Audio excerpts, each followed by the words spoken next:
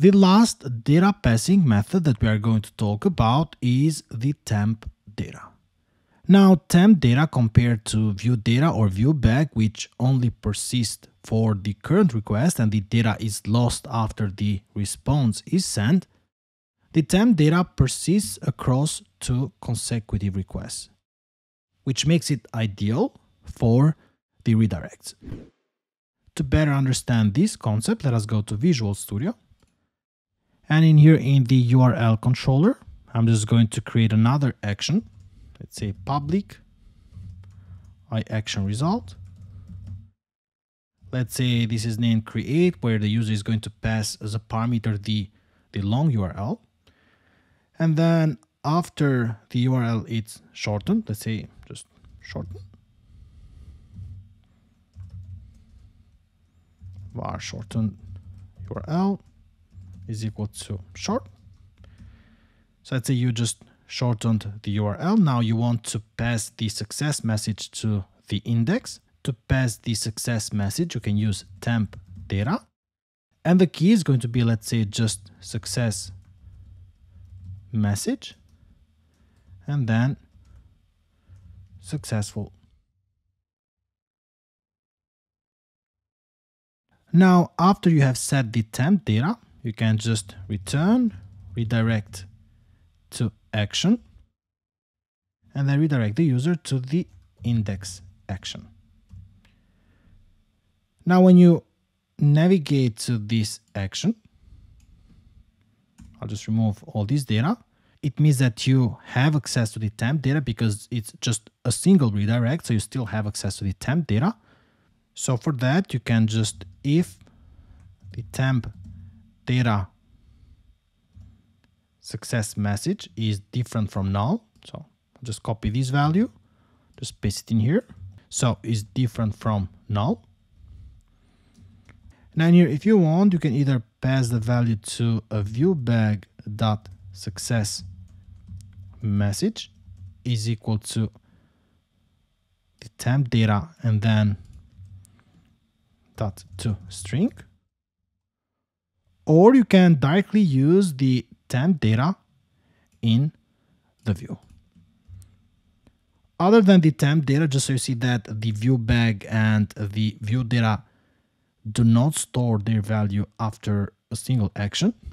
I'll just type in here view bag dot test one is equal to test one and view data dot test two is equal to test two.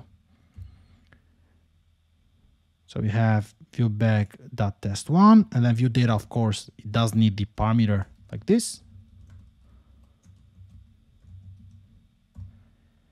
And then this has the test 2. Let me just type in here var temp data is equal to, let's say, the temp data var and then view bag is equal to view bag dot the test one.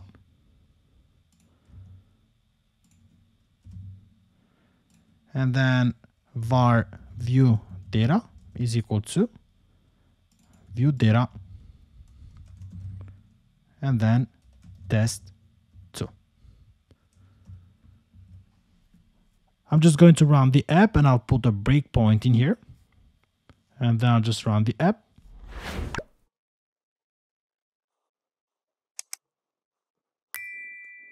Now that the app ran successfully, I'll just go to URL, but now not index. I'll just go to the create action. And you can see that the create action was executed and then it did redirect me to the index action. In here, I'll just continue and you can either step over using F10 or just click this button up here. Let me check the temp data. The temp data does seem to have the value successful. Let us check the view bag. You can see that the view bag is null and the view data is null as well. So as you can see, the data persists between two actions.